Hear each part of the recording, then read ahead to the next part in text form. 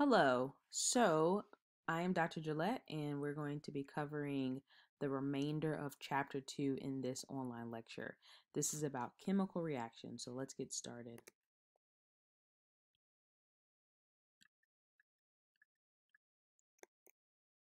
Okay, so with our chemical reactions, I want to make sure to emphasize a few things here.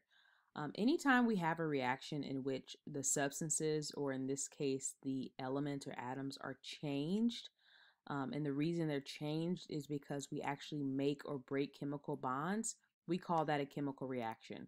So if we're changing our atoms or substances, and the way we're changing them is by making new bonds or by breaking new bonds, that is a chemical reaction. When we're talking about a chemical reaction, on the left side of the reaction, before we start, we call those items reactants. So let's say we're baking a cake.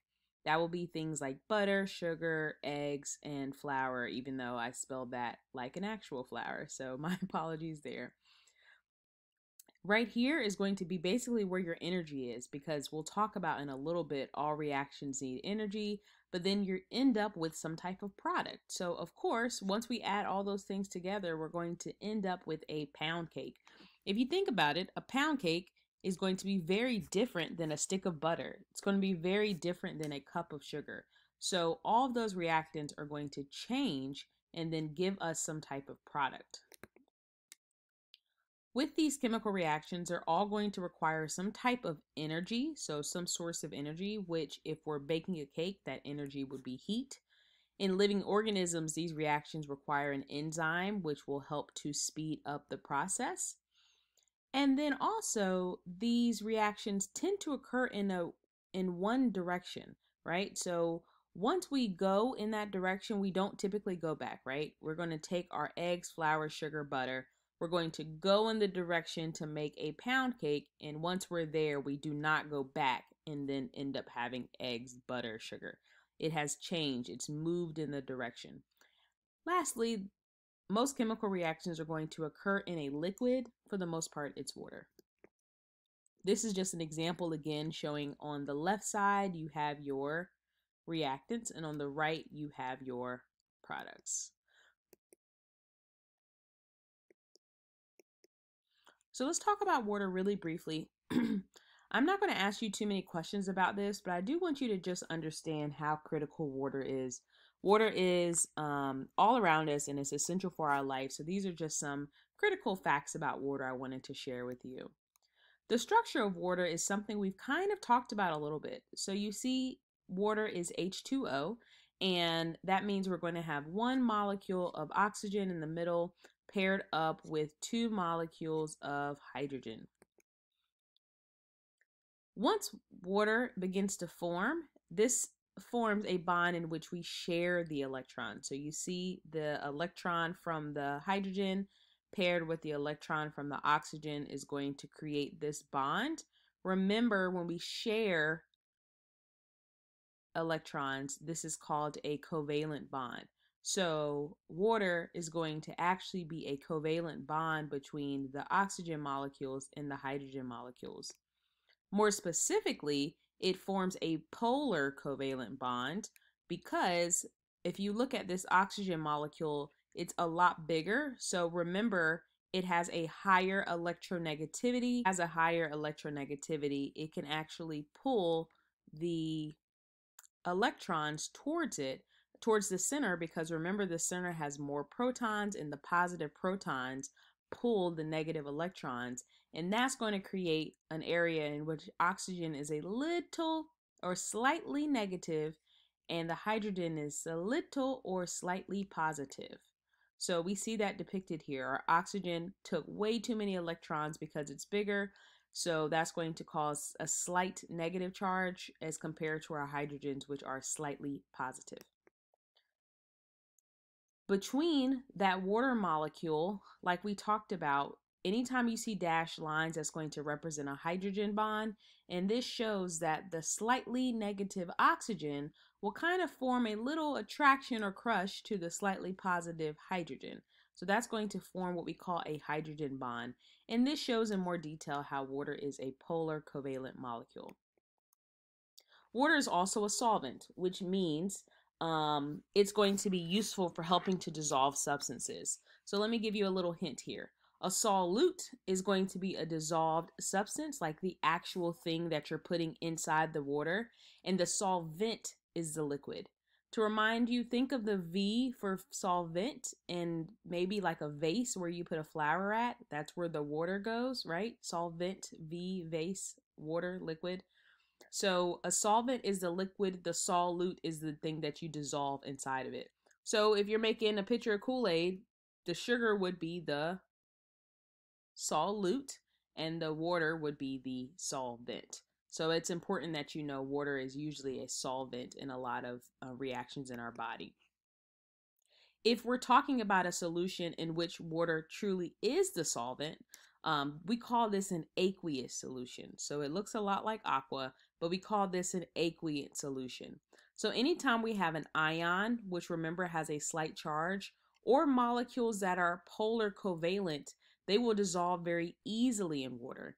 That's because remember, water has a little bit of a charge, right? There's some slightly positive and slightly negative sides to it. So if we put an ion here, which let's say it's plus two, it's going to be able to interact with the negative oxygen. If we put something here that is an anion, so it's a negative ion, it can interact with the positive sides of hydrogen. So that's one reason why ions or other molecules that are polar covalent can dissolve in water very easily. Once we're talking about water as a solvent, there are three different types of environments we can expect. One is called hydrophilic, which is water loving. So if you've seen, you know, or know about, of course, Philadelphia, it's the city of brotherly love, the study of philanthropy. It talks about like interacting with people and the love that we have. Um, so water loving. Hydro is water, phil is love. That means water loving. So any molecule that is hydrophilic will dissolve very easily in water. These are going to be molecules that are ionic and or molecules that are polar covalent. Hydrophobic. Hydro means water. Phobia or phobic means fear. So you might have heard some people are claustrophobic, meaning they don't like to be in small spaces. Some people have arachnophobia, they're afraid of spiders, um, all those type of things. This means water fearing. So this is going to be for a solute that does not dissolve in water and it's going to be nonpolar. So remember our nonpolar molecules, um, like things like oils, they don't have a charge. So once you drop them in water, where water has a charge, it's not going to interact with it. So nonpolar means they're all fine. If you put it in a space with water and where the water is going to have a charge, this is not going to cause an interaction. So like when you add oil and water together, they're very separate. They don't interact with each other. That oil is hydrophobic. It's water fearing. And finally, amphipathic. Amphi means both. Some people are like ambidextrous and stuff like that. But amphipathic means both. And this is for molecules that basically have both a polar region and a non-polar region. So part of it loves the water, that's the polar side, it's hydrophilic. Part of it hates the water, that's the non-polar side, that's hydrophobic. They're going to form a um, substance called a micelle in water. So what does a micelle look like? A micelle is where you have the polar or hydrophilic, meaning water loving regions on the surface, right? So think of it like a, a circle right here. These little blue parts are the hydrophilic or polar parts. They love water, so they want to interact with the red water molecules on the outside. However, there are some portions of it, these little white tails here, that are pointed inward. And when they're pointed inward towards the interior, that means they do not want to interact with the water. So think about, um, let's say an orange, right? The rind or the outside of the orange that interacts with the air, but the inside of the orange never interacts with the air, right? So that's going to be your non-polar versus your polar. One place you may have seen this is micellar water. So it's a makeup um, cleanser. Think about maybe um, a lot of mascara is waterproof, but foundation might be water based. So on your face, you have some things that like water, some things that don't like water. this uses the power of micelles, right? So something that has parts that are good for the water part of your makeup and then parts that are good for the anti-water or hydrophobic parts of your makeup so that you can actually get your makeup off in one swipe. Um, we talked or this is in the slide deck talking about the three states of H2O, but we are not going to cover it in this uh, class. And also this slide here about the structure of water. So this kind of wraps up our chemical reactions and let's talk about pH really briefly. So pH and buffers, this is important because these um, pH plays a major role in how different substances interact with each other. So the pH actually stands for potential of hydrogen, pH. Um, and this is just a mathematical way that we use to be able to identify the number of hydrogen ions in any solution. So H plus, anything that's hydrogen ion in a solution, we want to use that to determine the pH. Because of that, we have this scale called a pH scale. And this scale will help us determine how acidic something is or how basic a solution will be. So it runs from like 1 to 14, sometimes you see 0 to 14. And all of these are actually a log of 10. The only reason I say that is I want you to understand going from a pH of 1 to 2 is a very big difference, even though, of course, the numbers are just 1 to 2. All right, very important here. And we'll look at this picture as well. Anything that's on the left side or from 6.999 down to zero is going to be acidic. It's going to be an acid. The closer we get to zero or one, the more hydrogen ions we have, the less hydroxyl or OH groups we have. Okay, so like this graph is showing, this little triangle, the closer we are to the bottom part of the pH um, scale, the more hydrogens we have, the less OH groups we have. Seven is neutral, it's a literally an even split. And finally, the same thing applies 7.01 up to 14. It's going to be more basic, or you're going to have a low amount of hydrogen ions, a high amount of these OH or hydroxyl groups. So let's break this down a little more. Like I said, a neutral solution is going to be right in the middle. I don't know if you can tell, but the hydrogen ions and the hydroxide ions come together to form water, right? H2O, you see how everything works together, H2O. Um, so when you're talking about a neutral solution, that means that this solution is going to dissociate or separate. That's a fancy word for separate. It's going to separate evenly. So it's going to separate evenly into hydrogen ions and evenly into hydroxide ions. You see, you got two red hydrogens, two green hydroxide groups. That's even. That means it's neutral. That's right at seven. Anything that's acidic that means when you drop it in water, when you put it in water, it's going to release hydrogen ions, more hydrogen ions than it does hydroxyl groups. So, the acidity of a substance depends on how quickly it dissociates. So, a strong acid, as soon as you drop them in the water, they're going to break apart almost immediately.